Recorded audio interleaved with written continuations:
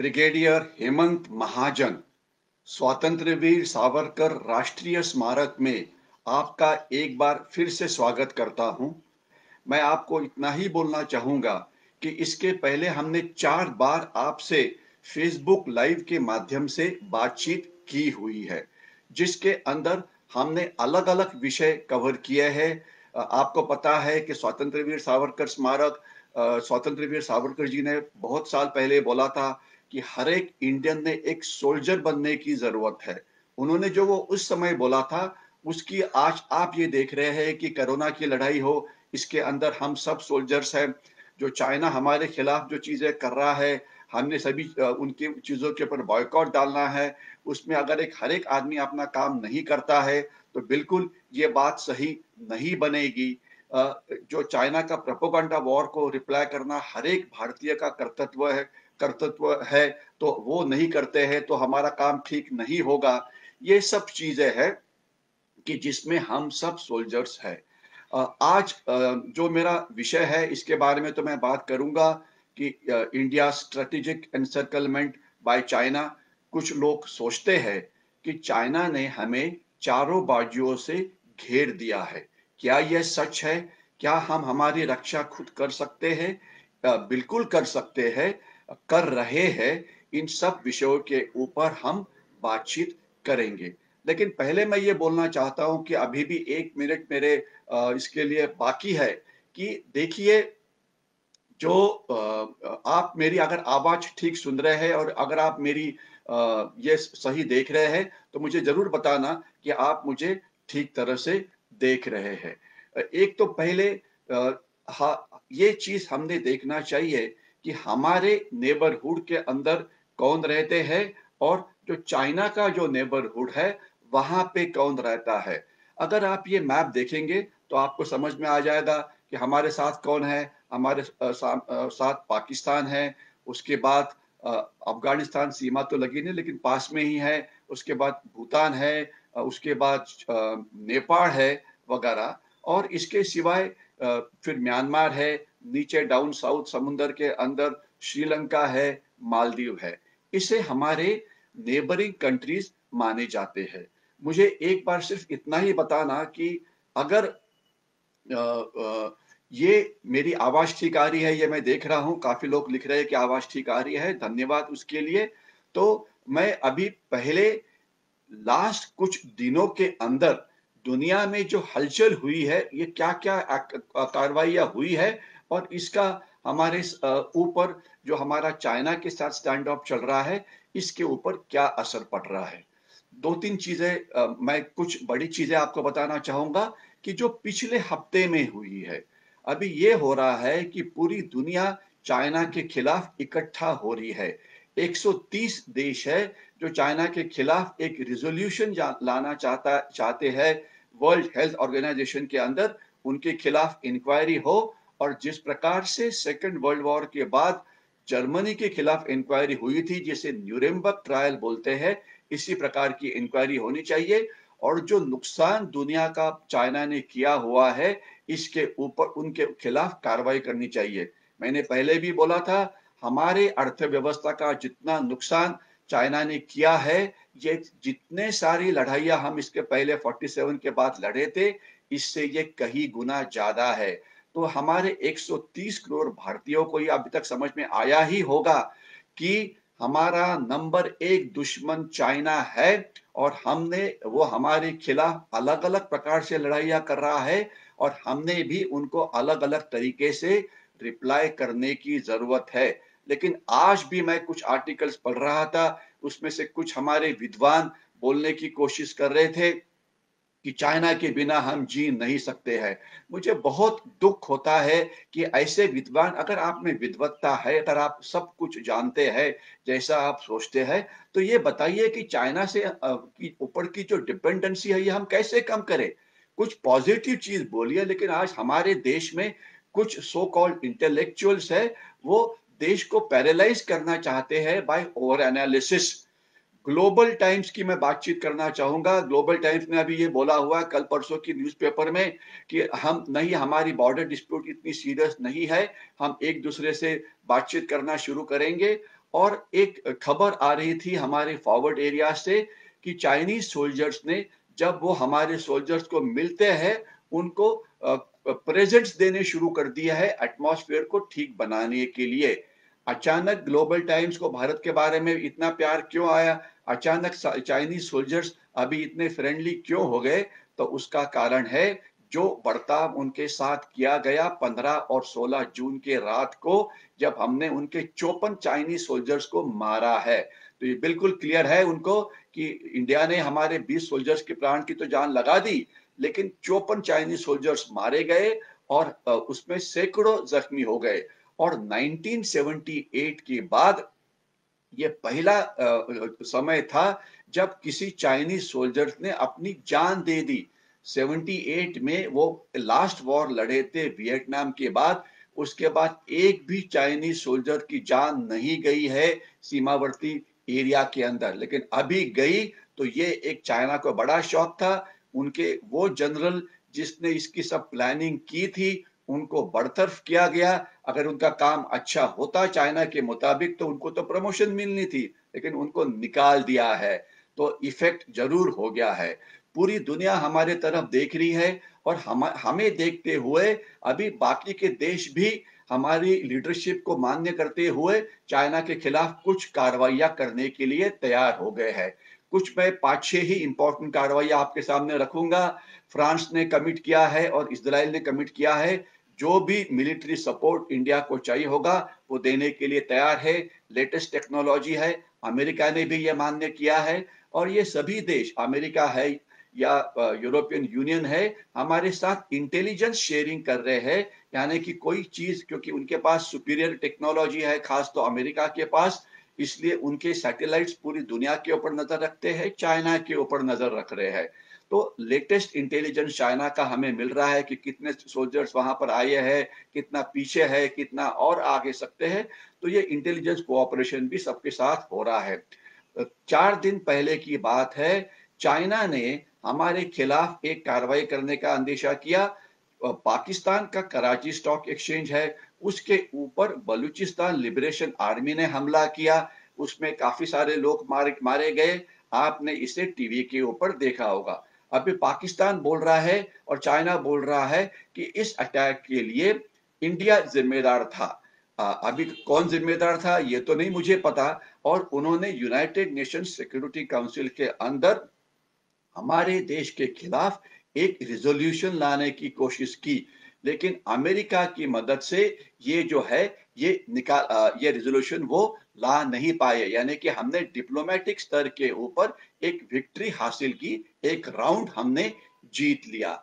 इसके बाद यूनाइटेड पूरी दुनिया, खास तो यूनाइटेड स्टेट्स ने, जो हमने 59 चाइनीज़ एप्स बैन किए हैं, इसके लिए हमें प्रेज किया है और काफ़ी सारे कंट्रीज़ है जो चाइनीज़ एप्स इस्तेमाल करते हैं, वो भी उसे बैन करने की कोशिश कर रहे हैं। अभी चाइनीज़ एप्स को बैन किया, उसका चाइना के ऊपर क्या रिज़ल्ट हुआ है, आप समझ जाइए कि जो स्टैटिस्टिक सामने आई थी, उनका टू बिलियन डॉलर्स का रेवेन्यू अभी कम हो गया है।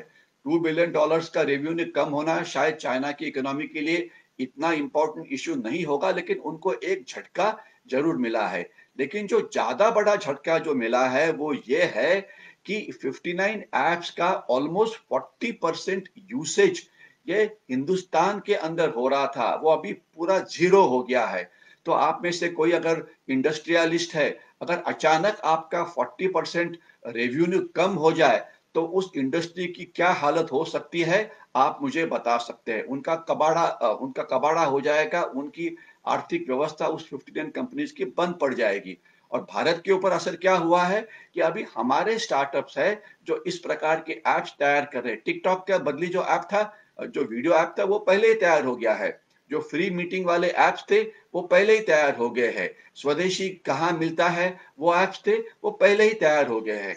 हमारी जो ई कॉमर्स की कंपनीज़ है, इन्होंने इतना अच्छा काम किया है कि उन्होंने, उनका अगर आप कोई ई कॉमर्स के थ्रू कोई चीज़ें खरीदना चाहते हैं तो वहाँ पे आपको एक आइकॉन मिल जाता है मेड इन इंडिया यानी कि अगर आप, हम सिर्फ़ वही चीज़ें खरीदना चाहते हैं, वो हिंदुस्तान में बनी है तो उसकी लिस्ट ये ई कॉमर्स कंपनी के ऊपर अवेलेबल है, क्योंकि सरकार ने उनको बोला है।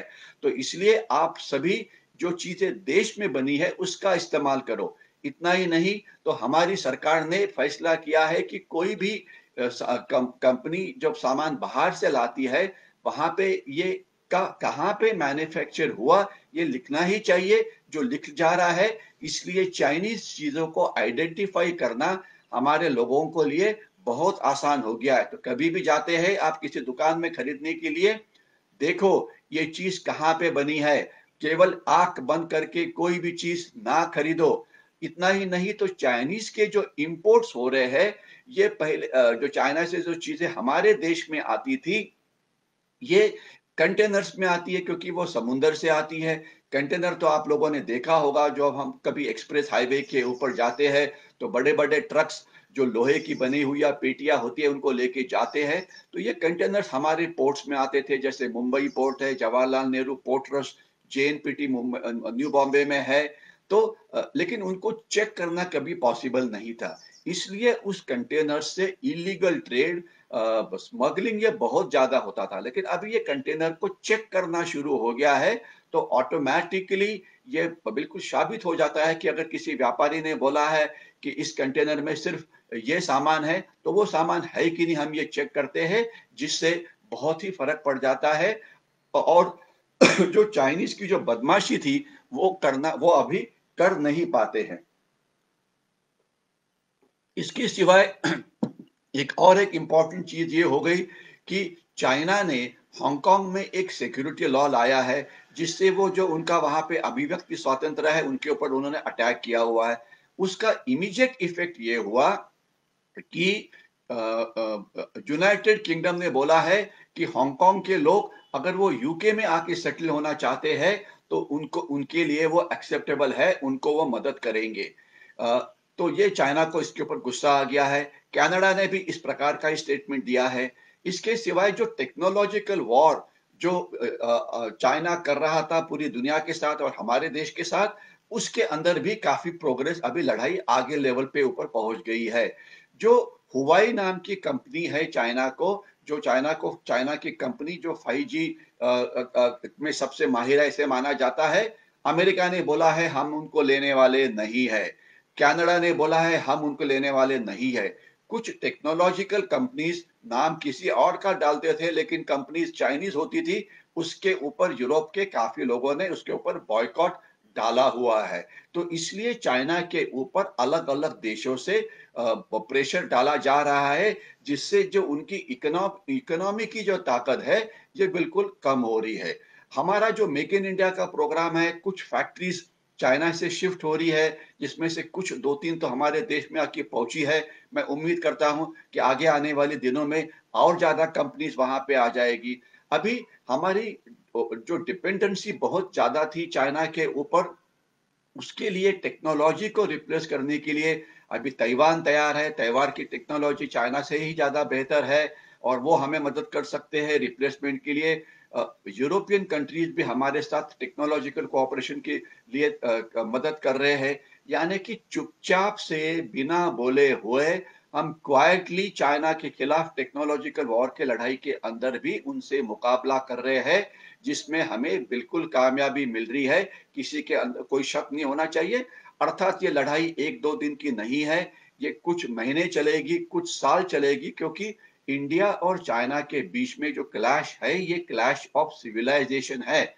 चा, मैंने चाइना के बारे में आपको पहले ही बोला था वो इंडिया को एनिमी नंबर टू समझते हैं एनिमी नंबर वन उनका यूनाइटेड स्टेट्स है क्योंकि इंडिया एक अकेला देश है यूनाइटेड स्टेट्स को छोड़ के जो मिलिट्रीली चाइना का मुकाबला करता है कर सकता है जो अभी हो रहा है बाकी किसी देश की हिम्मत नहीं थी जब उनके समुद्र के अंदर चाइनीज़ आ गए तो वो केवल प्रोटेस्ट ही करते रहे।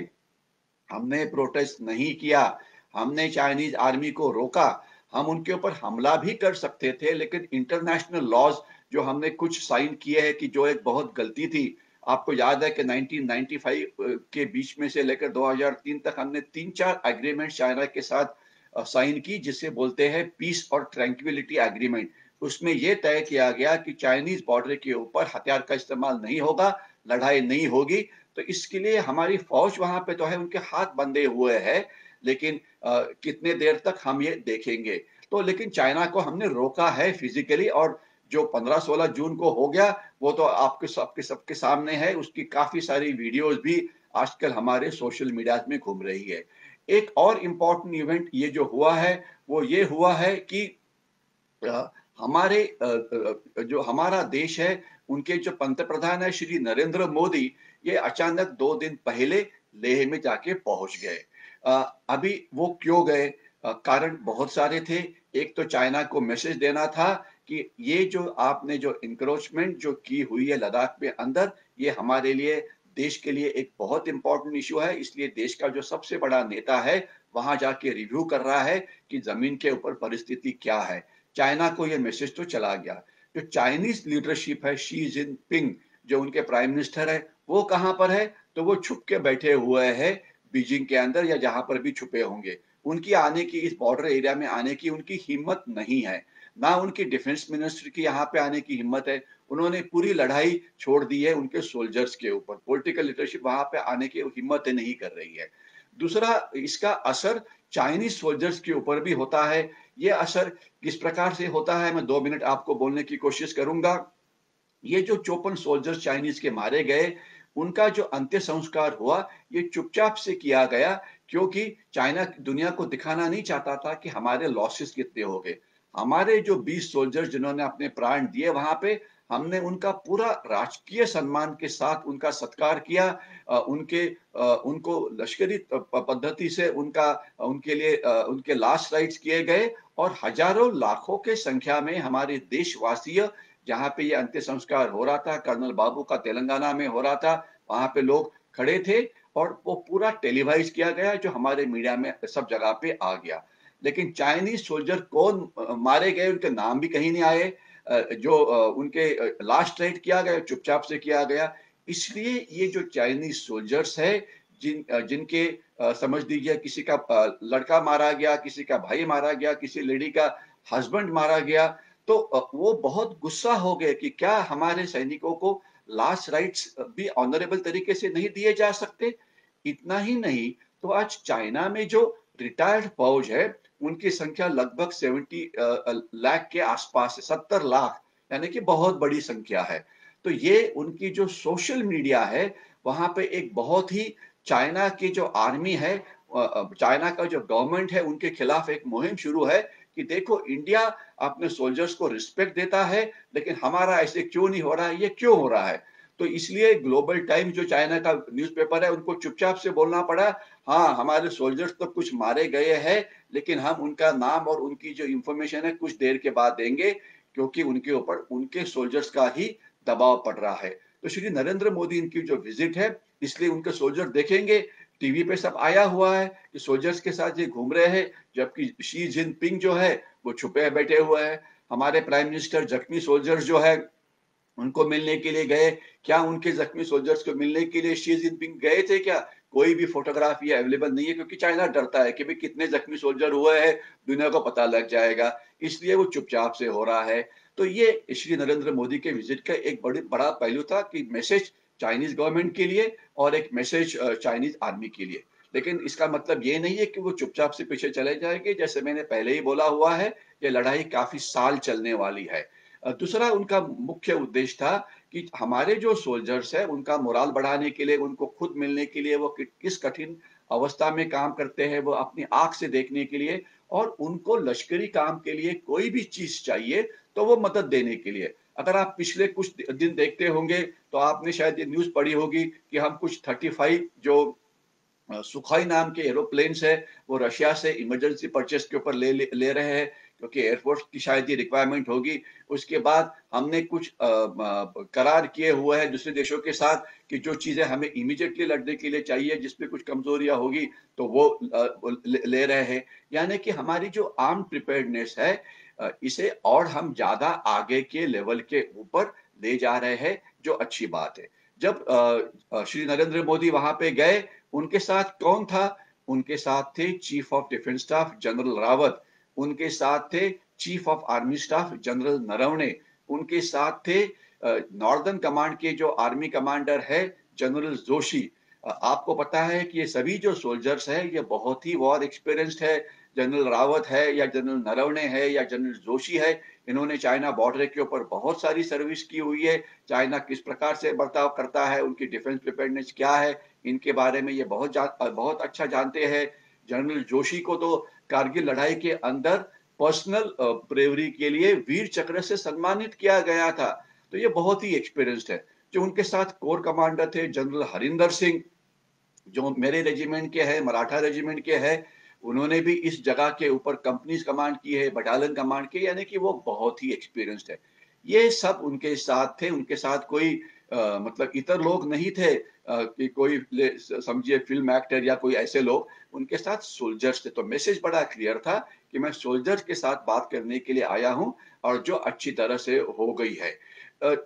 एक नेक्स्ट मैसेज जो था वो था हमारे जो ले लद्दाख की जनता है उनके लिए। ले लद्दाख की जनता जो चाइनीज़ अग्रेशन ये जो हुआ है, जो उनकी इंक्रोचमेंट हुई है, सबसे ज़्यादा असर उनके ऊपर हो रहा है, ज़ाहिर है।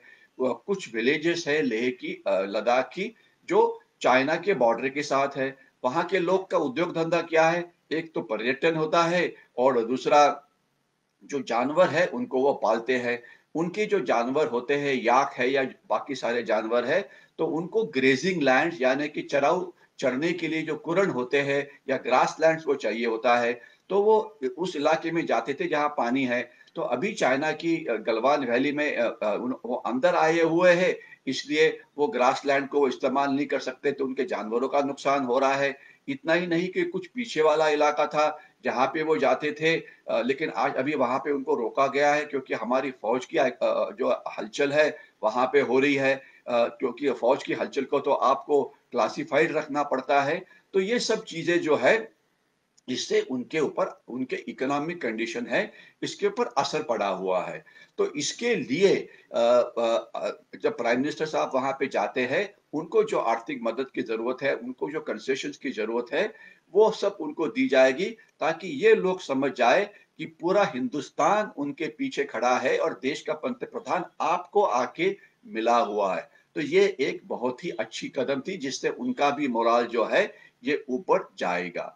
अभी मैं, मेरे जो विषय है जो स्ट्रैटेजिक एनसर्कलमेंट उसके ऊपर आ जाऊँगा, क्योंकि इतनी सारी घटनाएँ हुई है कि मैंने सोचा कि ये अपडेट आपको देना ही चाहिए। मैं एक घटना इसका बता देता हूँ या शायद बताऊँगा कि जब मैं हमारे जो साथ में देश है, उनके बारे में बात करता हूँ।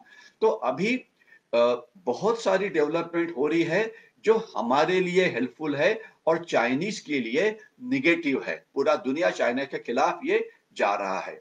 अभी हम आते हैं स्ट्रैटेजिक एनसर्कलमेंट के ऊपर। हमारे कुछ विद्वान हैं। इन्होंने ये शब्द इस्तेमाल करना शुरू कर दिया कि चाइना हमें चारों बाजू से घेर रहा है।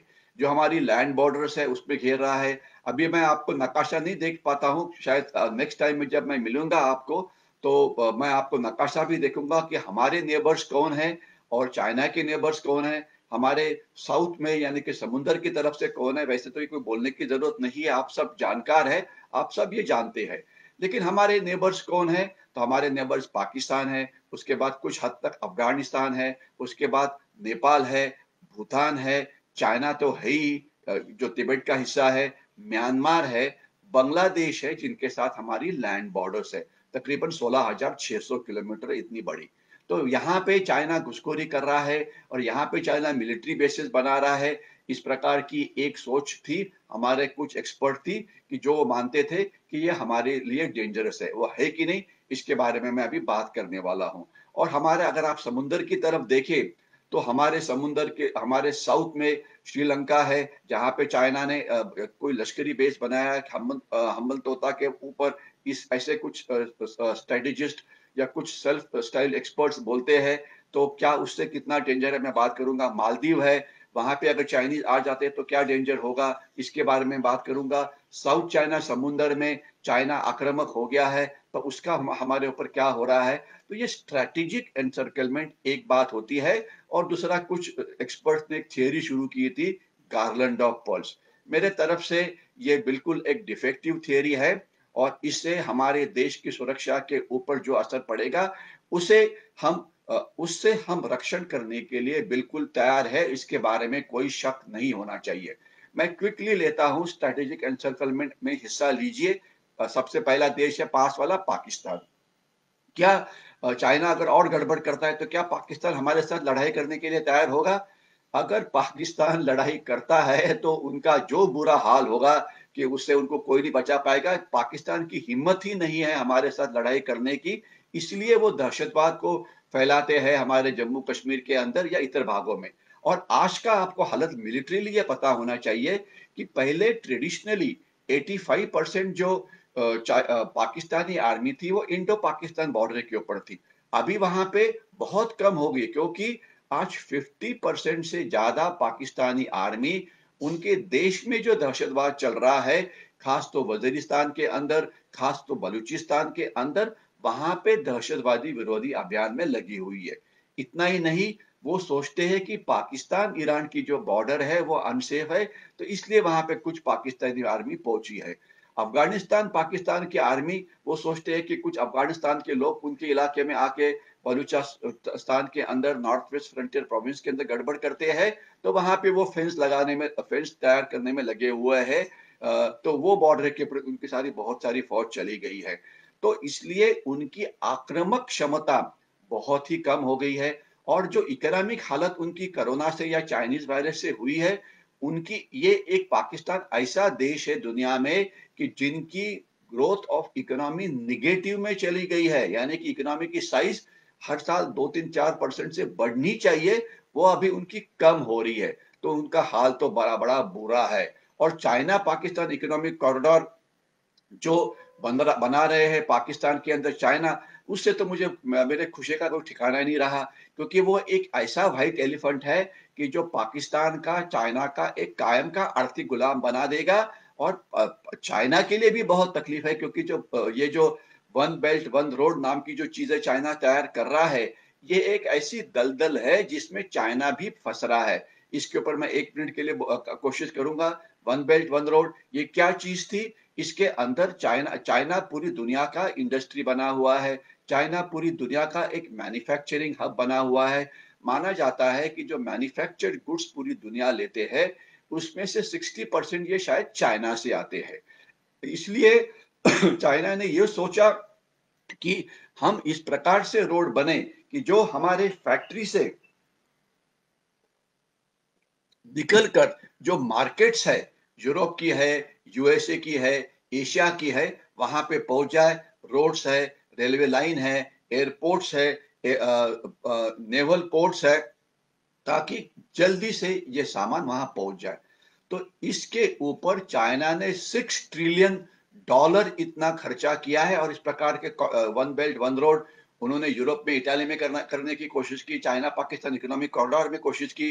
अगर हम हमारे पहले पास वाले लोगों के बारे में बात करेंगे तो उन्होंने वो एक श्रीलंका में करने की कोशिश थी, जहाँ पे वो हम्बनतोता बंदर उन्होंने तैयार किया, लेकिन वो बंदर एक, उनके लिए एक व्हाइट एलिफेंट बना हुआ है उसके बाद म्यांमार में उन्होंने कॉरिडोर बनाने की कोशिश की। जहाँ पे वो कॉरिडोर इकोनॉमिकली वायबल नहीं है और, और म्यांमार के जनरल बोल रहे हैं कि चाइना हमारे अंदर जो एक दहशतवादी गट है आराकान आर्मी उनकी मदद लेते हुए दूसरे देश जो हमारे म्यांमार में काम करते हैं उनके ऊपर हमला कर रहा है। उनका रुख हमारे हिंदुस्तान की तरफ़ था। हम भी एक कॉरिडोर बना रहे हैं कि जो हमारे मिजोरम मणिपुर से लेकर म्यांमार की तरफ़ से उनका जो सितवे पोर्ट है, वहाँ पे जाएगा, जिससे हमारे नॉर्थ ईस्ट की बहुत ही इकोनॉमिक प्रोग्रेस होगी। तो तो म्यांमार का इकोनॉमिक कॉरिडोर भी इकोनॉमिकली वायबल नहीं है।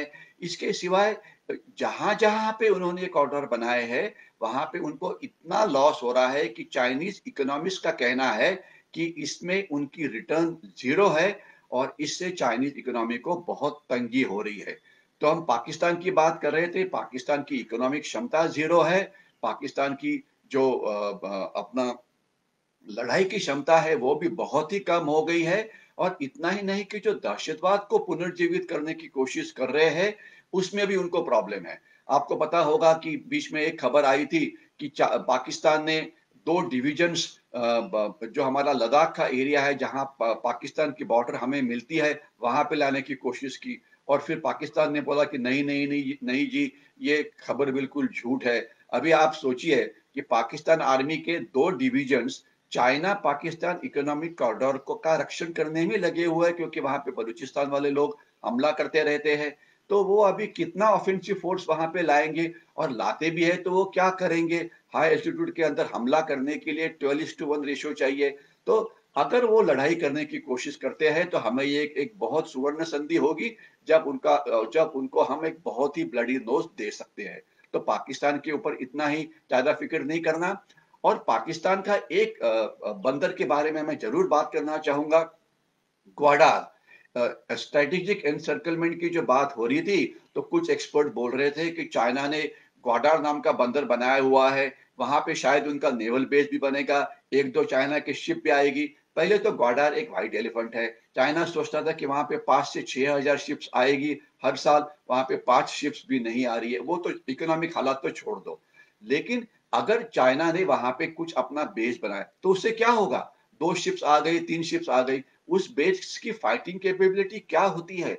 अगर आपने लड़ाई का इतिहास किया हुआ है पीस टाइम के अंदर तो वो इस्तेमाल कर सकते हैं, उसमें कोई शक नहीं है। वहाँ से अगर कुछ कहीं पर नज़र रखना है तो वो तो हो सकता है। लेकिन लड़ाई के अंदर उसका कोई फ़ायदा है क्या?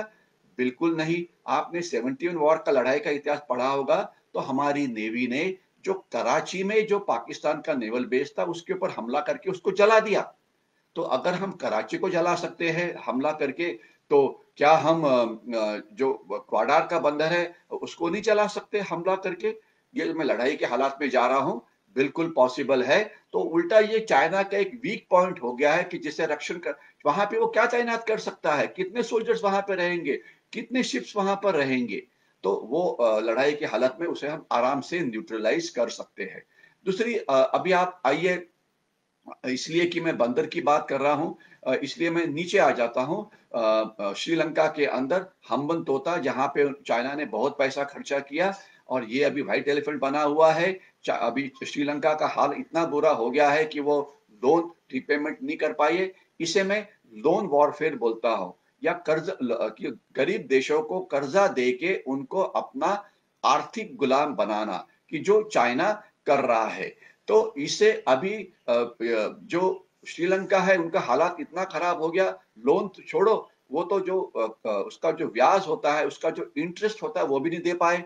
तो इसलिए उन्होंने ये बंदर हैंड ओवर कर दिया चाइना को 99 इयर्स के लिए। अभी 99 इयर्स के लिए आपने कोई चीज़ खरीद ली तो उसका इस्तेमाल क्या करने वाले? वहाँ पे भी कोई आने के लिए तैयार नहीं है, क्योंकि चाइना के साथ कोई लगाव करना चाहता ही नहीं है तो कोई शिप से नहीं वहाँ पे आती तो क्या होगा? तो ये भी उनके लिए एक व्हाइट एलिफेंट बना हुआ है और वहाँ पर भी अगर कोई ऐसी इस प्रकार के आप बेसिस बनाते हैं तो उसकी क्षमता क्या होगी? इसके ऊपर आप खुद ही देख लो कि क्षमता जो है वो बिल्कुल ही कम होगी, इसके बारे में किसी को शक होना ही नहीं चाहिए। इसके बाद हम आ जाते हैं बांग्लादेश के अंदर। बांग्लादेश, ये नेक्स्ट वाला देश है, समुद्र की तरफ़ से मैं देख रहा हूँ। ये माना जाता है कि बांग्लादेश को चाइना बहुत मदद कर रहा है और अभी जो लेटेस्ट रिपोर्ट आई थी कुछ हफ़्ते पहले की बात थी तो उसमें ये बोला गया कि बांग्लादेश के साथ आर्थिक व्यवहार चाइना करना चाहता है ताकि बांग्लादेश का जो एक्सपोर्ट चाइना को होगा, वो बढ़ेगा। मैं तो कुछ लोग ने कॉन्स्पिरसी थियोरी शुरू करनी, कर दी कि अरे देखो, इससे बांग्लादेश भी उनके साथ लग जाएगा। मेरे लिए ये एक अच्छी बात है, क्योंकि आज पाँच करोड़ से ज़्यादा बांग्लादेशी का इलीगल माइग्रेशन हुआ है हमारे देश के अंदर। इसीलिए जो हम बात कर रहे थे नेशनल पॉपुलेशन रजिस्टर की, या जो हम बात कर रहे थे नेशनल रजिस्टर ऑफ़ सिटीजन की, वो उसके लिए, ताकि जो इलीगल माइग्रेंट्स जो हमारे देश में आके बस, बसे हुए हैं, वो निकालने के लिए। लेकिन अभी खबर अच्छी ये है कि कुछ बांग्लादेशी हमारे देश से बांग्लादेश में वापस जा रहे हैं, क्योंकि अगर बांग्लादेश की इकोनॉमी इंप्रूव होती है, वहाँ पे जॉब मिलते हैं तो ये जो इलीगल माइग्रेशन जो बहुत चल रहा था, ये अपने आप ही कम हो जाएगा। तो वो कोई कोई, ये कोई खराब चीज़ नहीं है हमारे लिए, उल्टी अच्छी चीज़ है। लेकिन क्या उनका कोई मिलिट्री कैपेबिलिटी है बांग्लादेश का, हमारे खिलाफ कार्रवाई करने का? तो वो बिल्कुल नहीं है। अगर वो कुछ करने की कोशिश करते हैं तो उनका नुकसान होगा, वो वो भी जानते हैं। और वहाँ की जो पॉलिटिकल लीडरशिप अभी जो है हसीना जी, वो एक भारत की बड़ी दोस्त है। कुछ दहशतवादी जो बांग्लादेश में उनके ट्रेनिंग कैंप थे, उन्होंने भारत के कहने पे उनको हमें सौंप दिया। कुछ उल्फा के दहशतवादी, कुछ और दहशतवादी। तो बांग्लादेश का इस्तेमाल मिलिट्रीली हमारे खिलाफ होना यह बिल्कुल ही एक नामुमकिन बात है। लेकिन चाइना ने उनको दो सबमरीन ज़रूर दी हुई है। अभी बांग्लादेश को सबमरीन की ज़रूरत क्या है? पनडुब्बी की ज़रूरत क्या है? वहाँ पे वो कहाँ इस्तेमाल करेंगे? उस वो तो उनको चलाना तो आता नहीं है। तो उसको देखते हुए वहाँ पे पूरा चाइनीज़ ग्रुप बैठा हुआ है। तो चाइनीज़ अभी उसका इस्तेमाल जो ओशियोनोग्राफिक सर्वे होता है, उसके लिए कर रहे हैं। तो उसके ऊपर हमारी नज़र ज़रूर है। उसके ऊपर आप फ़िक्र मत करिए। और अंडमान निकोबार आइलैंड के बारे में तो मैं अलग ही बातचीत करने वाला हूँ। अभी आप आ जाइए सीधा म्यांमार के ऊपर। म्यांमार का जो समुद्र किनारा है आप नकाशे में ज़रूर देख लीजिए। म्यांमार का जो बंदर है सितवे एक स्ट्रिंग ऑफ़ पोल्स में एक थी वहाँ पर भी चाइना बेस बना रहा है। एक बार मैं फिर रिपीट करता हूँ क्या उसकी कैपेबिलिटी होगी अपना रक्षा करने की? बिल्कुल कोई नहीं। कोई लोग बोल रहे हैं कि आ, आ, आ, कि जो हमारा अंडमान निकोबार आइलैंड है तो वहाँ पे चाइनीज़ ना की रडार लगा दिया है या ऐसे कुछ चीज़ें की है जो म्यांमार का आइलैंड है। अभी एक रडार लगाने से क्या होता है जी? उस रडार को बर्बाद करने में हमें कितना समय लगता है? यानी कि मिलिट्रीली ये जो लश्करी बेस की बात कर रहे हैं, या तो वो गौडार में हो पाकिस्तान में, या तो या तो वो हम्बन तोता में हो श्रीलंका में, या तो वो चिटगांग में हो बांग्लादेश के अंदर, या तो वो सितवे में हो म्यांमार के अंदर, उनकी लश्करी क्षमता कोई नहीं है और उसे तोड़ने के लिए हम काफ़ी कुछ कर सकते हैं जिसका मैंने एक्सप्लेन आपको किया कि सेवेंटी वॉर में हमने ये किया था। मतलब मैं, मैं कुछ काल्पनिक चीज़ नहीं बोल रहा हूँ कि जो कभी इसके पहले नहीं हुई थी। अभी आप जाइए आगे आने वाले अभी हम लैंड बॉर्डर्स की तरफ़ देखते हैं और उसके बाद फिर मैं अंडमान निकोबार के पास आ जाऊँगा क्योंकि स्ट्रेटेजिक एनसर्कलमेंट के अंदर समुद्र से जो चीज़ें होती है उसका एक बड़ा हिस्सा होता है। तो अभी लैंड बॉर्डर की तरफ़ से अगर आप देखें, पाकिस्तान की बात तो पहले ही हो गई। नेपाल की बात करिए। नेपाल के प्राइम मिनिस्टर ने हमारे खिलाफ उल्टी बात कर ली और बोला कि ये जो इंडियंस है, ये चाइनीज़ वायरस से ज़्यादा डेंजरस है। बोलने से क्या होता है? आज एक करोड़ से ज़्यादा नेपाली ये हमारे देश में बसे हुए हैं। वो बहुत ही देशभक्त है और उनको इंडिया में आना अलाउड है हमारी ट्रीटी के मुताबिक। इतना ही नहीं तो आज जो हमारी आर्मी है अगर मुझे स्टैटिस्टिक्स याद है तो ऑलमोस्ट 40 से पचास हज़ार नेपाली गुरखा हमारे आर्मी में काम करते हैं और उसमें से कुछ वो बिल्कुल चाइना बॉर्डर के ऊपर है, जहाँ पे जब वो मौका मिल जाता है तो चाइनीज़ सोल्जर्स की पिटाई ज़रूर करते हैं। ये आपको पता होना चाहिए। तो वो बिल्कुल हमारे साथ है एक सर्विसमैन कम्युनिटी बिल्कुल हमारे साथ है, और मैं ये मानता हूँ कि ऑलमोस्ट सबसे ज़्यादा जो, जनता जो नेपाल की है, वो हमारे देश के साथ बिल्कुल जुड़ी हुई है। तो क्या नेपाल की कुछ क्षमता है हमारे खिलाफ लश्करी कार्रवाई करने की? बिल्कुल नहीं है। इसके बारे में किसी को शक नहीं होना चाहिए। थोड़ा बहुत साइकोलॉजिकल वॉरफेयर तो कर लेंगे। लेकिन आज जो नेपाल की सीमा से जो हमें धोखा है, वो अलग प्रकार का है। उसके बारे में दो मिनट के लिए मैं बोलना चाहूँगा। वहाँ से फेक इंडियन करेंसी नोट भेजी जाती है। वहाँ से ड्रग्स भेजे जाते हैं कि जो स्मगलर्स लेके आते हैं। वहाँ से ह्यूमन ट्रैफिकिंग होता है। रेड लाइट एरिया में आपको पता होगा। मैं इसके बारे में ज़्यादा बातचीत नहीं करना चाहूँगा। वहाँ से स्मगलिंग बहुत होती है। तो इसे रोकने की ज़रूरत है पीस टाइम के अंदर जो रोकने की कोशिश सीमा सुरक्षा बल कर रहा है लेकिन शायद उनकी एफिशिएंसी और बढ़ाने की ज़रूरत है। लड़ाई के समय वो कोई थर्ड फ्रंट निकालेगा ये भूल जाइए। भूटान की तरफ़ देखिए एक बहुत ही अच्छा देश है बहुत ही मित्रता वाला देश है लेकिन आ, आ, आ, वो बिल्कुल हमारे साथ है। आपने देखा कि उन्होंने जब चाइना उनके खिलाफ कार्रवाई कर रहा था इसके अंदर, डोकलाम के अंदर तो उन्होंने हमारा साथ कैसे दिया? अभी चाइना उनके साथ कुछ बॉर्डर डिस्प्यूट निकालने की कोशिश कर रहा है, या इस प्रकार की चीज़ें तो चलेगी, लेकिन वहाँ से मिलिट्री थ्रेट बिल्कुल कोई नहीं है। दूसरा सवाल उठता है कि क्या चाइनीज़ नेपाल के थ्रू हमारे अंदर आएँगे, या क्या भूटान के थ्रू हमारे अंदर आएँगे? मैं इतना ही बोलना चाहूँगा कि ये मिलिट्री एस्पेक्ट हो गया है, फ़िक्र मत करो, जब वो आएँगे तो हमें इतना पता लगेगा कि हम उनको नेपाल के अंदर ही मार देंगे। तो मैं इतना ही बोलना काफ़ी है कि मिलिट्रीली नेपाल के थ्रू आना मिलिट्रीली भूटान के थ्रू आना आ, आ, उसके आप फ़िक्र मत करिए क्योंकि मैं ज़्यादा लश्करी टैक्टिक्स के अंदर मैं जाना नहीं चाहता हूँ। काफ़ी सारे इंडियन आर्मी है जिनको अलग अलग प्रकार के टास्क मिले हैं वो क्या टास्क है मैं नहीं बताऊँगा आपको। आ, मैं अभी आगे आ जाता हूँ जो नेक्स्ट वाला देश है जिसे हम मतलब चाइनीज़ बॉर्डर जो हमारे साथ लगी हो वो एक्चुअली तिब्बत है। आपको तिब्बत का इतिहास में सिर्फ़ दो मिनट में दोहराता हूँ। 1949 तक तिब्बत इंडिपेंडेंट था और वो हमारे और चाइना के बीच में एक बफर स्टेट था। हमारी अगर आज तिब्बत ज़िंदा होता तो हमारी बॉर्डर चाइना के साथ लगनी नहीं थी। लेकिन 1959 में तिब्बत के ऊपर चाइना ने अतिक्रमण किया और अपने कब्जे में ले लिया। और हमने इसको विरोध करना चाहिए था। तो हमने बोला, हमने उसको रिकग्नाइज कर लिया कि हाँ भाई तिब्बत आपका हिस्सा। इतना प्यार क्यों? ये समझ में नहीं आया और उसका जो नुकसान है, वो आज अभी भी हम देख रहे हैं। उसके बाद तिब्बत में एक अपराइजिंग हुआ। चाइना ने एक लाख से ज़्यादा तिब्बतन्स को मार दिया। दलाई लामा भाग के हमारे देश में आ गए। आज वो धर्मशाला में, जो हमारे हिमाचल का एरिया, वहाँ पर वो रहते हैं और वो एक्साइल में एक तिब्बतन गवर्नमेंट चलाते हैं। जो एक बहुत ही अच्छा काम करती है। दलाई लामा एक रिस्पेक्टेड लीडर है। तो तिब्बत में आज चाइना बहुत ही ह्यूमन राइट वायलेशन कर रहा है। और क्या ये मुद्दा हम उठा सकते हैं कि नहीं? पूरी दुनिया के साथ हम उठाने की कोशिश कर रहे हैं और आपको शायद पता होगा कि चाइना का एक प्रांत है शिनजियांग नाम का, जहाँ पे जो मुस्लिम उइगर्स रहते हैं, उनके ऊपर बहुत ही अत्याचार हो रहे हैं। वो अपने आप में अलग ही एक विषय होगा, लेकिन उसका मुद्दा हम United Nations human right commission में उठा रहे हैं। तो ये जो जिस प्रकार के उल्टे काम चाइना हमारे खिलाफ करता था हमने उनको इस डिप्लोमेटिक लेवल के ऊपर भी करारा जवाब देना ये शुरू कर दिया है। तो अभी हम तिब्बत की बात छोड़ दीजिए मिलिट्रीली हम काफ़ी बात इसके बारे में बात की हुई है। हम सीधा अभी आ जाते हैं म्यांमार के अंदर। म्यांमार के साथ हमारा जो मिलिट्री कोऑपरेशन है बहुत ही अच्छा है। सर्जिकल स्ट्राइक जो इंडियन आर्मी ने किए पाकिस्तान के अंदर, इसके बारे में आपको पता है। जो बालाकोट में स्ट्राइक किया, पाकिस्तान में उसके बारे में पता है। लेकिन इंडियन आर्मी ने जो तीन चार स्ट्राइक म्यांमार में जाके किए, म्यांमार में कुछ ऐसे बंडखोर गट है जिसे चाइना मदद करता है, खास तो नागालैंड के कुछ गट है, एक दो एक आधा गट आसाम का है, उल्फाव जैसे, और एक आध दो मणिपुरी गट है। तो इनके ऊपर हमने बहुत बार म्यांमार में जाते हमले हमले किए हुए हैं। इसके ये इसे ऑपरेशन सनराइज नाम से पुकारा जाता है।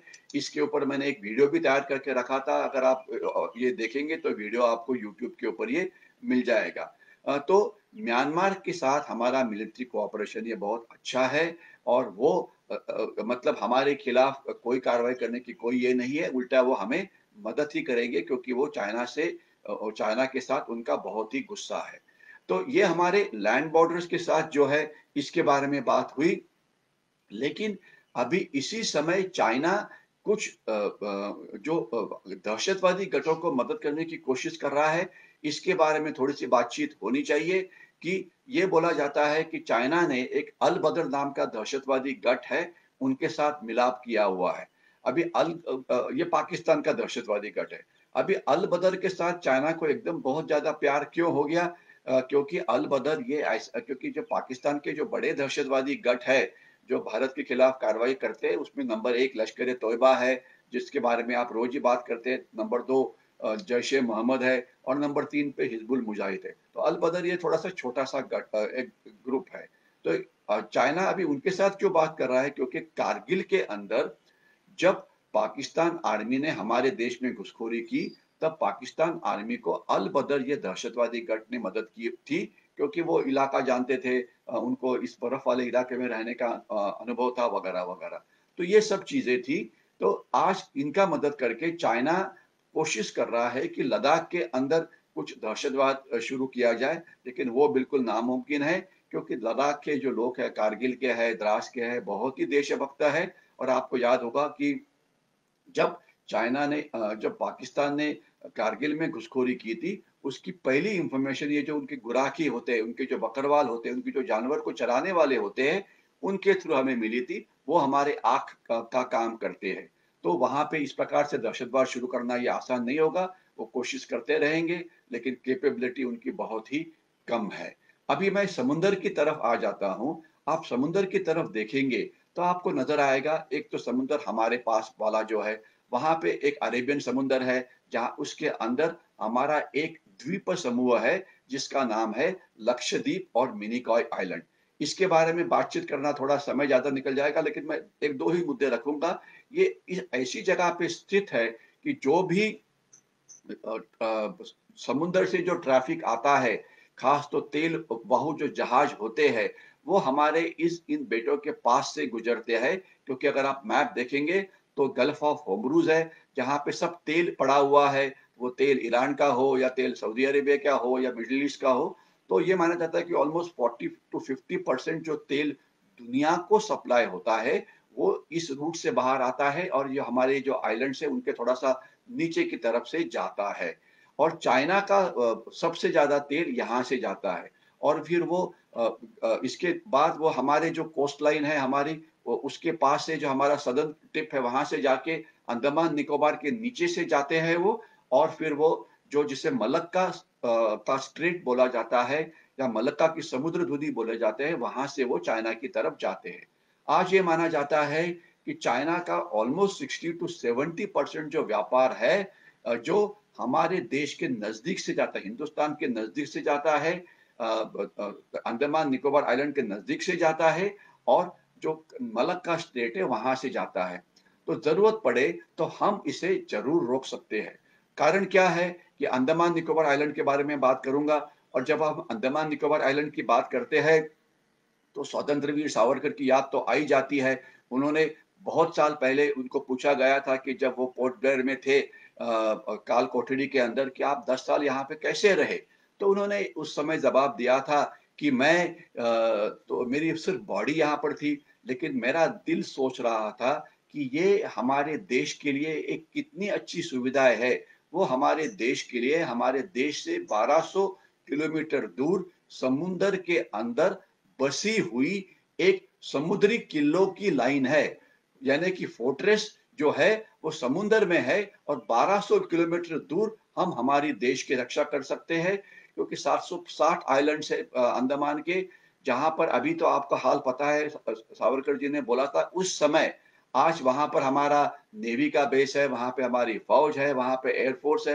एयरफोर्स के बारे में बोलना चाहूँगा कि वहाँ पे चार हमारे एयरपोर्ट्स है जिसका इस्तेमाल हमारी हवाई जहाज़ कर सकते हैं। एक तो नॉर्थ में दिगलीपुर नाम का जगह है, वहाँ पर है पोर्ट ब्लेयर। आप में से काफ़ी लोग वहाँ पर गए होंगे, वहाँ पर है। फिर कार निकोबार में एक कार्निक नाम का एयरपोर्ट है, वहाँ पर है। और डाउन साउथ अगर आप अंडमान का सबसे जो सदन मोस्ट टिप है, जिसे कैंपल बे बोला जाता है या निकोबार आइलैंड बोला जाता है, वहाँ पर भी हमारी एयर स्ट्रिप है। और वहाँ से अगर आप ये आप गूगल में गूगल का नक्शा लीजिए, वहाँ पे हमारा साउथ निकोबार आइलैंड दीजिए और वहाँ से नक्शा अंतर गिनिए आप कि कितना अंतर होता है मलक का स्ट्रेट जहाँ से चाइनीज़ जहाजों को जाना ही पड़ेगा। तो ये 300 किलोमीटर से भी कम है। एग्जैक्ट आप माप लेना क्योंकि गूगल आपको अंतर बता देती है तो मैंने कोई बोलने की ज़रूरत नहीं है। तो हमारे हवाई जहाज़ उसको रोक सकते हैं, हमारे नेवल शिप वहाँ उसको रोक सकते हैं और हमारे जो फौज है, उसके बारे में मैं ज़्यादा डिटेल में जाना चाहूँगा, वो भी वहाँ पर जाके काफ़ी कुछ कर सकती है। यानी कि ये जो स्ट्रिंग ऑफ़ पर्ल्स की जो बात हो रही थी कि बेसिस हमारे चारों तरफ़ लगे हुए हैं लैंड बॉर्डर की तरफ़ से या सी बॉर्डर की तरफ़ से वो इस प्रकार का कोई उनकी ताकत नहीं है, बल्कि वो उनकी एक वल्नरेबिलिटी है, उनकी एक कमज़ोरी है। और इसी कमज़ोरी को जिसे वो मलक्का डिलेमा बोलते हैं, इसलिए चाइना जो अलग अलग इकोनॉमिक कॉरिडोर जो है मलक्का के रास्ते को रिप्लेस करने के लिए वो चाइना पाकिस्तान इकोनॉमिक कॉरिडोर वो तैयार करना चाहते हैं, जो वो एक कोशिश है, या दूसरा जो म्यांमार का कॉरिडोर है, वो करना चाहते हैं, वो दूसरा उनका तय है। तीसरा, वो अगर आप ये मैप देखेंगे तो उन्होंने मलक्का को ये करने की बाईपास करने के लिए जो इलाका है थाईलैंड का, वहाँ पे एक उन्होंने जहाँ पे वो नैरो है, वहाँ पे वो एक अलग रास्ता समुद्र से निकालना चाहते थे, जिससे मलक्का के सिवाय एक ऑल्टरनेट रूट तैयार हो जाता था। एक नैरो पोर्शन देखिए आप, वहाँ पे नज़र आ जाएगा कि जहाँ पे बे ऑफ़ बंगाल जो है इंडियन ओशन को मिल जाएगा। लेकिन वो अभी कोई प्रोजेक्ट आगे नहीं जा रहा है। यानी कि चाइनीज़ ये स्ट्रिंग ऑफ़ पर्ल्स जो है, ये जो मिलिट्री बेसिस जो है, ये एक्चुअली चाइनीज़ वल्नरेबिलिटी है। ये हमारी नहीं है।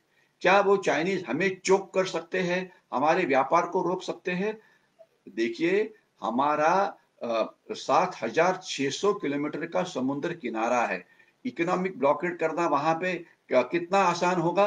बिल्कुल आसान नहीं होगा, क्योंकि इतना जो दूर का जो समुद्र किनारा है उसे हम किस प्रकार, कोई किस प्रकार से रोकेगा? बिल्कुल नहीं रोक सकता है। तो ये एक कमज़ोरी चाइना की है, लेकिन हमारी तो ये एक अच्छी ताकत है। ये आपको मैं समझाने की कोशिश कर रहा हूँ कि तो ये जो स्ट्रैटेजिक एनसर्कलमेंट की जो बात होती है, इसकी आप फ़िक्र नहीं करना। ये बल्कि उनकी एक एक एक वीकनेसेस है। तो स्ट्रैटेजिक एनसर्कलमेंट की बात करते हुए अभी हम समुद्र में आ जाते हैं, अभी हम आगे जाते हैं। अगर आप आगे जाएँगे तो आप देखेंगे कि चाइना ये ये एक लैंडलॉक्ड कंट्री है और सिर्फ़ साउथ चाइना समुद्र है। अगर आप देखें तो उनका वहाँ पे समुद्र वहाँ से शुरू हो जाता है और कुछ चाइना का हिस्सा जो है जिससे समुद्र किनारा, हमारा वैसे नहीं है। हमारी समुद्र किनारा हमें दोनों साइड में ईस्टर्न कोस्ट के ऊपर भी है, वेस्टर्न कोस्ट के ऊपर भी है। हमारे आइलैंड टेरिटरीज हमारे लिए एक फॉरवर्ड बेसिस है। और एक बार मैंने पहले भी बोला था कि ये हमारे पास एक चार अनसिंकेबल एयरक्राफ्ट कैरियर्स हमें मिलते हैं। अंडमान निकोबार के अंदर एक एयरक्राफ्ट कैरियर है, डिगलीपुर एयरफील्ड, जिसको कोई डुबा नहीं सकता है। दूसरा एयरक्राफ्ट कैरियर है, हमारा पोर्ट ब्लेयर का एयरपोर्ट, जिसे कोई भी डुबा नहीं सकता है। हमारा तीसरा एयरक्राफ्ट कैरियर है, हमारा कार निकोबार का एयरपोर्ट, उसे डुबाना पॉसिबल नहीं है। और चौथा है, डिगलीपुर का एयरपोर्ट तो ये हमारे पास चार अनसिंकेबल एयरक्राफ्ट कैरियर है। चाइना के पास है बिल्कुल नहीं है। अभी हम आगे जाते हैं साउथ चाइना समुद्र के अंदर, जहाँ पे चाइना आक्रामक हो गया है। जैसे वो हमारे खिलाफ आक्रामक हो गया है तो वो दुनिया के साथ आक्रामक हो गया है। अभी साउथ चाइना समुद्र में आपको कुछ समुद्र के कायदे इसके बारे में समझ में आना चाहिए, ताकि साउथ चाइना जो डिस्प्यूट है, उसके बारे में आपको पता लगेगा। बिल्कुल मैं शॉर्ट में बोलना चाहूँगा। अंतरराष्ट्रीय कायदा, जिसे सी लाइंस ऑफ़ कम्युनिकेशन का कायदा या जिसे international treaty on maritime aspect बोलते हैं, वो कुछ इस प्रकार से है। अगर किसी देश को समुद्र का किनारा है, जैसे हमें है, जैसे चाइना है, या किसी और को है तो रूल यह है कायदा ये बोलता है कि हमारे समुद्र किनारे से 12 नॉटिकल माइल का जो समुद्र है वो हमारे देश का है। इसे टेरिटोरियल वाटर बोला जाता है और इसे हमारे देश का कानून लागू होता है।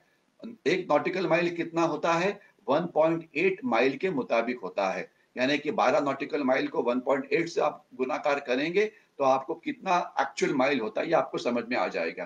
तो इस इस वहाँ पे कोई भी देश नहीं आ सकता है। आ, मैं नॉर्मल ट्रांसपोर्ट की बात नहीं कर रहा हूँ मैं उनके वॉरशिप्स की बात कर रहा हूँ। उसके सिवाय 200 नॉटिकल माइल का जो समुद्र है, समुद्र किनारे से, उसे एक्सक्लूसिव इकोनॉमिक जोन बोला जाता है। वहाँ पे इंटरनेशनल जो नेविगेशन है, समुद्र में जो जहाजें चलते, चलाते हैं, उसे नेविगेशन का राइट ज़रूर है। लेकिन वहाँ पे युद्ध नौका या पनडुब्बी, यानी कि सबमरीन वो वहाँ पे नहीं आ सकती। और ईईजेड e का मतलब यह है कि उस इलाके के अंदर जो भी मिलता है, इस समुद्र के अंदर फ़िश है, कोई कोई फ़िश और प्रोडक्ट्स है, जैसे कि सी का ककुम्बर वगैरह बोलते हैं, ये एक अलग ही हमारी कोस्टल सिक्योरिटी ये हमारा एक अलग ही विषय हो जाएगा कभी मौका मिलेगा तो उसके बारे में हम बातचीत करेंगे कि हम हमारी कोस्टल सिक्योरिटी किस प्रकार से कर रहे हैं। लेकिन वहाँ पे गैस मिलेगा समझो ऑयल मिलेगा समझो हमने एक्सप्लोरेशन करना है तो ये हमारा अधिकार है। वहाँ पर कोई भी जो है, वो हमारे समुद्र में आके इस प्रकार की एक्सप्लोरेटरी कार्रवाई साइंटिफिक इन्वेस्टिगेशन वॉरशिप्स को लाना ये कर नहीं सकता है।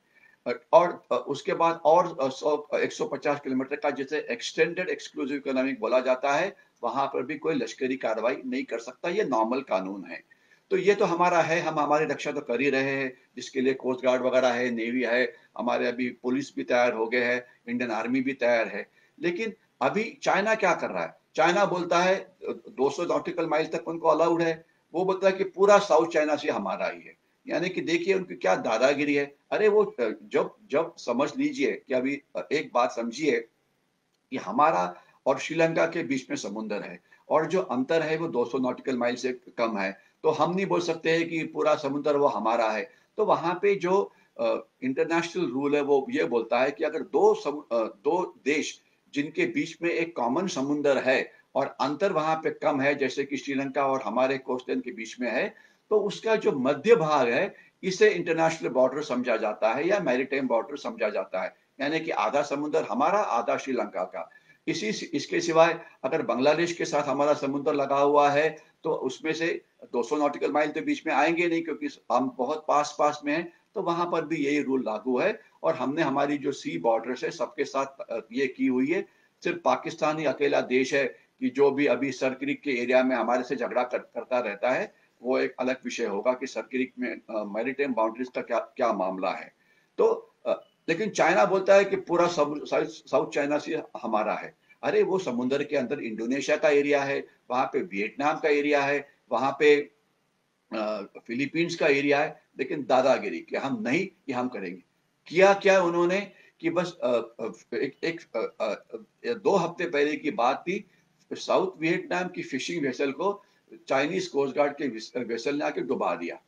अभी वियतनाम क्या करेगा? तो आक्रामक कार्रवाई वो थोड़ा सा डर रहे थे कि क्या किया जाए। लेकिन जब से हमारा आ, मतलब देश ने आ, आ, मतलब लद्दाख के अंदर चाइना को फेस करना शुरू कर दिया है इससे बाकी लोगों का भी मोराल बढ़ा हुआ है। एक वीडियो फ़िल्म ज़ाहिर थी कि जब जब इसके एरिया में क्या नाम है जो एरिया था अपना फिलीपींस का। जहाँ पे जब चाइनीज़ शिप्स आ गई तो फिलीपींस उनको बोल रहे थे कि आप हमारे एरिया में मत आओ, यानी कि फिलीपींस भी पेट्रोलिंग करके उनको पीछे भेजने की कोशिश कर रहे हैं। इंडोनेशिया ने भी बोला हुआ है कि आप हमारे एरिया में बिल्कुल आ नहीं सकते हैं। तो इंडोनेशिया ने भी ये बोला हुआ है। जापान के साथ उनका डिस्प्यूट है, एक आइलैंड है, जिसको बोला जाता है सेनकाकू आइलैंड और चाइना ने बोला कि हमारे, ये हमारा है। जापान भी, अभी जापान अपना मिलिट्री बजट बढ़ा रहा है। जो एक हमारे लिए एक अच्छी बात है, क्योंकि जापान एक बहुत ताकतवान देश था। सेकेंड वर्ल्ड वॉर में आपको याद होगा कि वो पूरी जापान से निकल के वो हमारे नॉर्थ ईस्ट के अंदर पहुँचे थे। इम्फाल के अंदर जो अपना मणिपुर में है कोहिमा जो नागालैंड के अंदर और वहाँ पे लड़ाइया हुई थी। देखिए, हज़ारों किलोमीटर का प्रवास करके जापानीज ब्रिटिश आर्मी को पराभूत करके हमारे देश में पहुँच गए थे। बहुत बढ़िया देश है। हमारा बड़ा अच्छा दोस्त है, अगर वो डिफेंस बढ़ाता है तो ज़ाहिर है कि वो हमारे लिए अच्छी बात है। इतना ही नहीं, मैं थोड़ा नीचे चला जाऊँगा। ऑस्ट्रेलिया नाम का देश है। अभी ऑस्ट्रेलिया, चाइना के साथ बहुत ही गुस्सा है, वो क्यों गुस्सा है, मेरा भी समय अगले तीन चार मिनट में मैंने रुकना चाहिए और मैंने फिर कुछ क्वेश्चन लेने चाहिए तो इसलिए ऑस्ट्रेलिया के बारे में बात बाद में करेंगे। लेकिन ऑस्ट्रेलिया भी अपना डिफेंस बजट बढ़ा रहा है और एक क्वार्टिलैटरल कोऑपरेशन नाम की चीज़ जो है वो दायर करने की कोशिश कर रहे हैं, जिसमें चार देशों की नेवी, जापान की है, ऑस्ट्रेलिया की है, हमारी है और अमेरिका की भी है, वो यहाँ पे आके कुछ चीज़ें कर सकती है। अमेरिका का मैंने नाम कर लिया तो इसलिए मैं आपको एक चीज़ और इमीडिएटली बोलना चाहूँगा, क्योंकि मैरी टाइम डोमेन एक इतना बड़ा सब्जेक्ट है कि एक घंटे के अंदर इसे कवर करना आसान नहीं है। तो चाइना जो अमेरिका के जो तीन एयरक्राफ्ट कैरियर है, अमेरिका के पास दुनिया के सबसे पावरफुल एयरक्राफ्ट कैरियर से जो पैसिफिक ओशन में थे। अभी वो कहाँ पहुँचे हैं? अभी वो साउथ चाइना समुद्र में पहुँचे हुए हैं। क्यों पहुँचे हुए? वो तो टूरिज़्म के लिए तो आए नहीं है। कुछ काम के लिए आए हुए, लड़ाई, क्या कर सकते अपना एयरक्राफ्ट कैरियर, लड़ाई कर सकते हैं। तो वहाँ पर वो पहुँचे हुए हैं बाकी के देशों को मदद करने के लिए। हमारा जो मिलिट्री कोऑपरेशन चल रहा है वियतनाम के साथ कोऑपरेशन चल रहा है और देशों के साथ इसके ऊपर बोलने के लिए समय नहीं है, क्योंकि मेरा अभी समय खत्म होने वाला है और मैं एनसर्कलमेंट की बात कर रहा था तो मैं आपको ये बोलना चाहता था कि हमने काफ़ी सारे अलायंसेस जो शायद फॉर्मली तैयार नहीं हुए होंगे, लेकिन तैयार हो रहे हैं, वो तैयार किया है तो लड़ाई होती है तो ये सब देश हमें ज़रूर मदद करेंगे। मैं कन्वेंशनल वॉर की बात कर रहा हूँ टेक्नोलॉजी की मदद है इंटेलिजेंस की मदद है चाइना को, चाइना के खिलाफ second front third front fourth front खोलने की ज़रूरत है तो उसमें मदद हो सकता है। ये बिल्कुल हमारे लिए एक अच्छी घटनाएँ है। तो ये सब कार्रवाई हो रही है तो जो स्ट्रेटेजिक एनसर्कलमेंट का जो मिथ था कि चाइना बहुत ही पावरफुल है, वो हमारे खिलाफ कर रहा है और हम कुछ नहीं कर रहे अरे, आपको पता होना चाहिए कि ये जो साउथ चाइना के जो देश है, पूरे चाइना के साथ बहुत ही नाखुश है। और चाणक्य ने हज़ारों साल पहले बोला था कि दुश्मन का दुश्मन, ये हमारा दोस्त होता है। तो अभी हम इनके साथ काफ़ी सारे कोऑपरेशन कर रहे हैं। कोस्ट गार्ड की कोऑपरेशन हो या नेवी की कोऑपरेशन हो तो ये कर रहे हैं। तो ये हम स्टेट ऑफ़ मलक्का के अंदर भी पेट्रोलिंग के लिए जाते हैं। मैं इसके में ज़्यादा डिटेल में नहीं जाना चाहूँगा क्योंकि कुछ ऑपरेशनल चीज़ें होती है, लेकिन ये दिल से निकाल दो कि सब चीज़ें चाइना ही कर रहा है क्योंकि हमारे कुछ स्ट्रेटेजिस्ट होते हैं वो दिखा देते कि चाइना साढ़े सात फुट ऊँचा है, उनकी मिलिट्री ताकत बहुत ज़्यादा है उनका इकोनॉमी बहुत ज़्यादा है। हम उनको अलग अलग लेवल के ऊपर ज़रूर उनका प्रतिकार कर रहे हैं, लेकिन ये लड़ाई जल्दी से खत्म होने वाली नहीं है, ये मैंने आपको पहले ही बोला हुआ है। तो ये जो स्ट्रेटेजिक एनसेटलमेंट की जो मिथ है, उससे रक्षा करने के लिए लड़ाई के हालात में हम तैयार है। हम हम हमारे खुद के लॉजिस्टिक बेसिस ले रहे हैं हम अंडमान निकोबार को और ज़्यादा डेवलप कर रहे हैं, लक्षद्वीप को कर ही रहे हैं।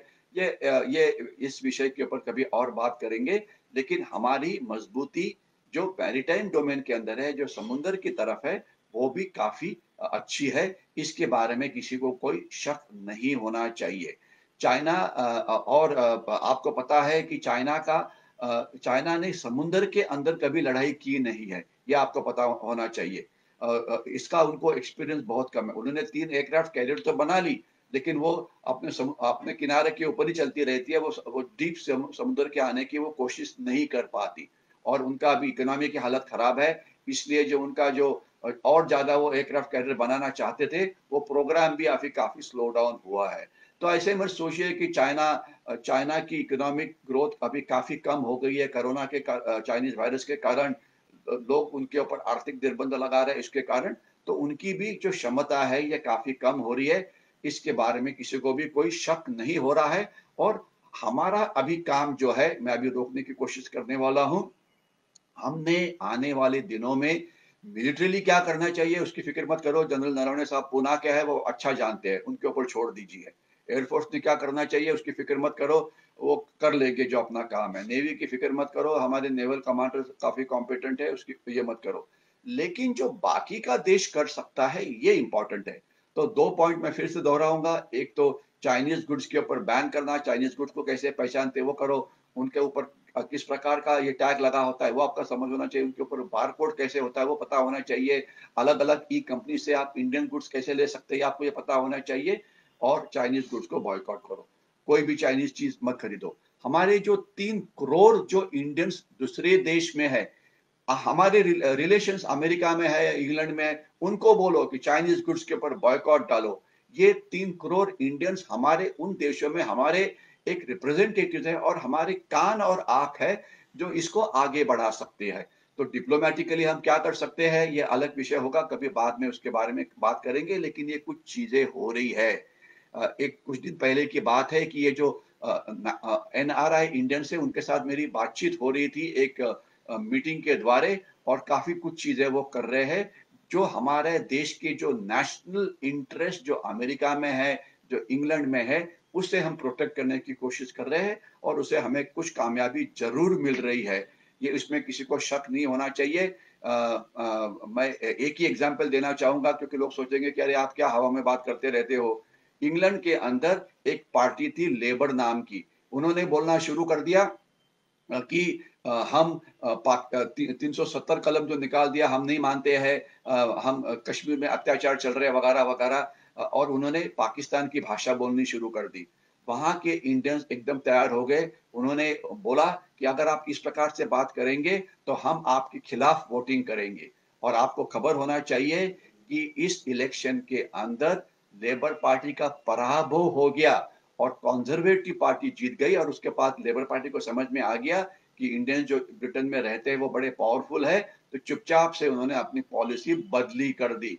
तो ये मत सोचना कि हम लड़ाई केवल हिंदुस्तान के अंदर लड़ रहे हैं, हम बाकी जगह के ऊपर भी लड़ रहे हैं कभी बाद में और बात करेंगे। और लास्ट में मैं ये बोलना चाहूँगा कि प्रपोगंडा वॉरफेयर दुष्प्रचार युद्ध अभी भी लोग बोलते हैं कि, ओ सर, वो नहीं है, चाइना का इतना यह है, हमारे टेलीफोन में यह है, वो है वो है। अरे भैया, आपको पता होना चाहिए कि 76 तक तो हम चाइना के बिना जीते थे तो 2022 के बाद भी जी लेंगे, ऐसी क्या बात है? कुछ प्रॉब्लम ज़रूर है, लेकिन 100 में से 100 मार्क करने के लिए लेने के लिए तो पढ़ाई करनी तो पड़ती है, ज़्यादा कोशिश तो करनी पड़ती है तो वो हम करेंगे। चाइनीज़ इकोनॉमी को रिप्लेस करेंगे, उनके गुड्स को रिप्लेस करेंगे, हमारे देश के अंदर बनाएँगे आत्मनिर्भर भारत के अंदर ये सब कार्रवाई शुरू करेंगे। हमारी जो बुद्धिमत्ता है कि जो हमारी सबसे ज़्यादा ताकत है, इसका इस्तेमाल करते हुए हम ये आत्मनिर्भर भारत में आगे बढ़ने की कोशिश करेंगे। तो ये एक चीज़ें हम कर सकते हैं, कर रहे हैं, करेंगे और मेरा बिल्कुल विश्वास है कि एक चीज़ पूछी जाती है कि क्या इस देश में अच्छे दिन आने वाले हैं, क्या चाइना वापस जाएगा? तो मेरा जवाब बिल्कुल सादा है।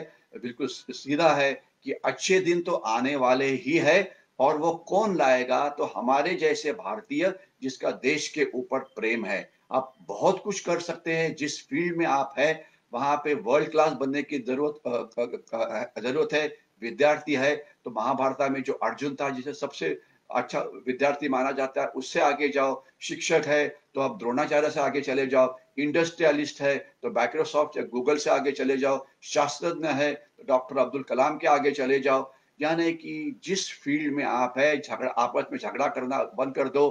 केवल बातचीत करना बंद करो, कुछ कृति करो और उस फ़ील्ड में वर्ल्ड क्लास हो जाओ, जिसके वर्ल्ड क्लास सिटीजन है, वो देश भी वर्ल्ड क्लास होता है।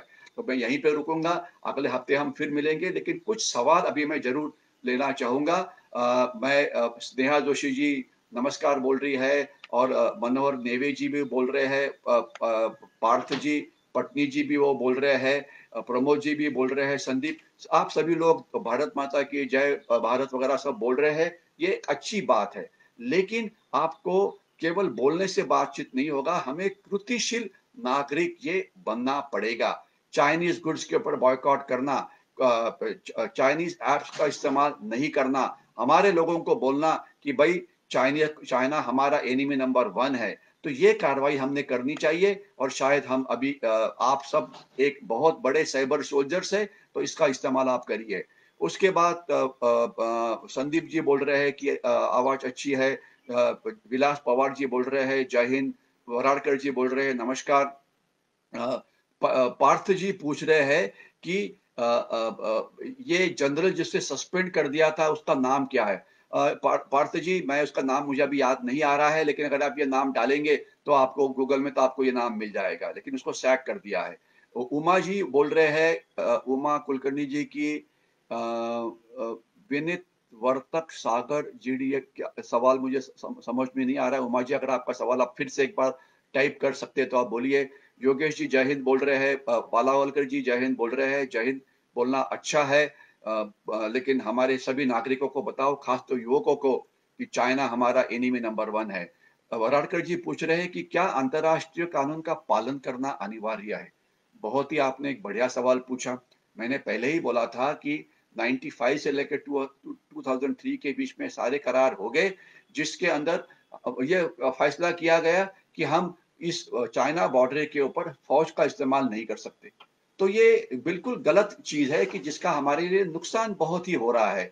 तो इसलिए क्या ये कानून हमने तोड़ना चाहिए? ये तो एक बड़ा पॉलिटिकल डिसीज़न होगा। लेकिन मैं इतना बोलूँगा कि चाइना को टिट फॉर टैट ये रिप्लाई देना चाहिए, क्योंकि वो तो कानून का इस्तेमाल कानून को तो ये नहीं करते हैं। वो तो ये सब चीज़ें करते रहते हैं।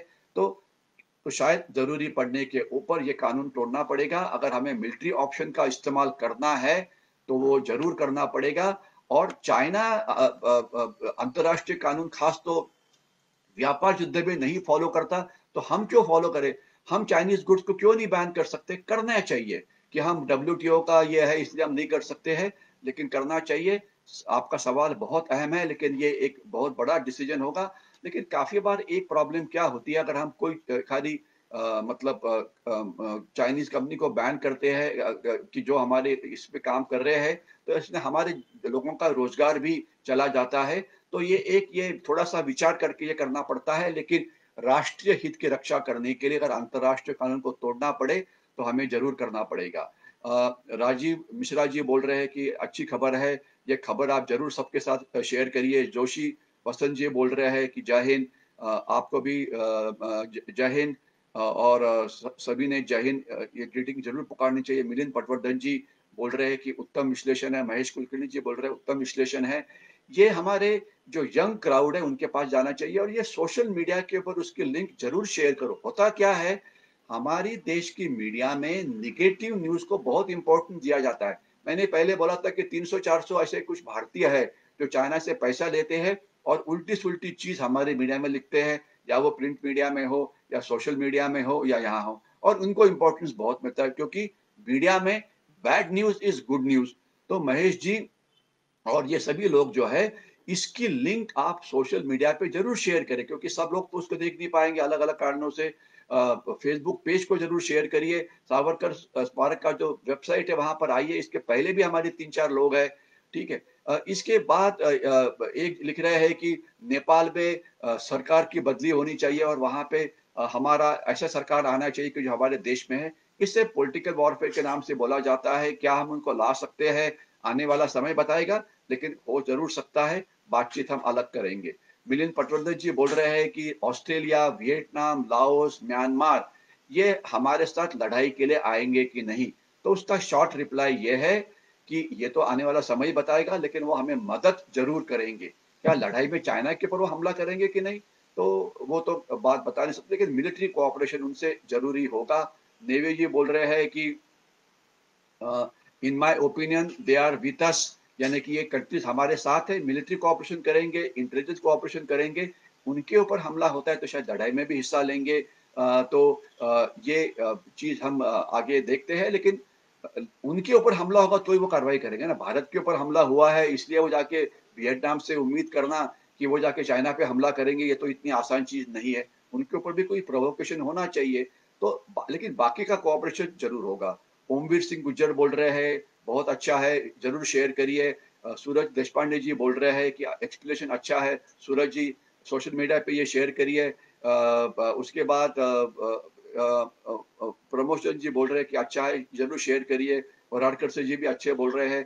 केशर सिंह मेहता जी बोल रहे हैं कि समस्या है कि चीन के समर्थक भारत में, भारतीय बहुत है हमारे देश में। केशर सिंह जी, आपने बिल्कुल सही बात कही। हमारे देश का सबसे बड़ा प्रॉब्लम यह है कि चाइना से निपट तो लेंगे इंडियन आर्मी की, लेकिन जो उनके समर्थक हमारे देश के अंदर है, उनका क्या? उनको कैसे पकड़ा जाए? एक हमारे चीफ मिनिस्टर है, केरला के, उनका मैं नाम खुल्लम खुला लेता हूँ। उन्होंने सात दिन पहले बोला कि चाइना अच्छा देश है चाइनीज़ गुड्स के ऊपर मैं, मिस्टर विजयन की बात कर रहा हूँ, जो चाइना, जो केरला के चीफ मिनिस्टर है, आपको लगेगा कि शायद केरला है ये चाइना का ही पार्ट बन गया है चाइना बहुत अच्छा देश है। अरे, बीस लोग हमारे हमारे देशों, हमारे सैनिकों का खून क्या सस्ता है क्या? चाइनीज़ गुड्स को बैन करना पूरे देश में चीज़ें चल रही है। वो बोलते नहीं नहीं नहीं करना चाहिए। चाइना को आइसोलेट करना चाहिए। मैंने पूरा मेरा टाइम बर्बाद किया ये बोलने में कि चाइना हमारा नंबर वन एनिमी है। लेकिन हमारे देश के कुछ लोग, जिसमें मैंने एक का नाम लिया वो बोलते कि नहीं, हमारा एनिमी नहीं है। तो अगर इस प्रकार के देश हमारे लोग हमारे देश में है तो इससे बड़ा नुकसान हमारे देश का क्या हो सकता है? उनके साथ कैसे डील करना? ये तो अलग विषय है, बात कभी करेंगे। पार्थ पटनी जी बोल रहे हैं कि सच है। आपने केशव सिंह जी बोल रहे हैं कि आपने अच्छा बात किया हुआ है। सूरज जी देशपांडे बोल रहे हैं कि जो प्रपोगंडा वॉरफेयर है, उसके बारे में क्या?